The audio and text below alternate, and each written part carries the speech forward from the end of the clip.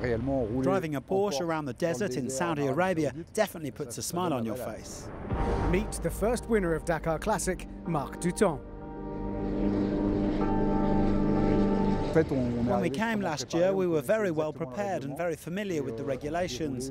So we had a pretty smooth rally from start to finish, no issues or technical problems. We finished first in our category and first in Dakar Classic.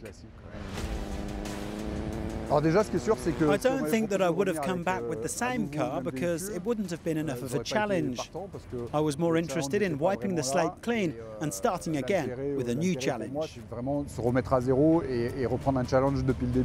Marc is back in this gorgeous Porsche 911 as he looks to defend his title. It took a while to set things up because Jeremy wanted to prep a 911 and it's turned out to be ideal. We'll see if it's perfect at the end of the rally, but for the moment it's certainly ideal.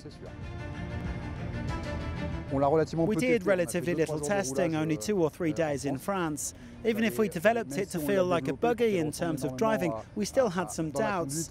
But it's actually very effective over the sand, and that is obviously very good news. The field is much more competitive this year in terms of the quality of the vehicles and the size of the teams. Some really big teams have turned up.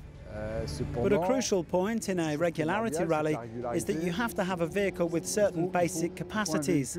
If you have those capacities, then it's the two people in the car, or three people if it's a truck, who are going to determine the result in a regularity rally. It's not about the vehicle, it's not about speed. Honestly, we're not here with any specific goals in mind, like a podium. We're just here to have fun, like last year. We want to enjoy the atmosphere of the Dakar and see big stars who are usually only on TV. It's great to be in an environment that we like and to be on the sand because we love it.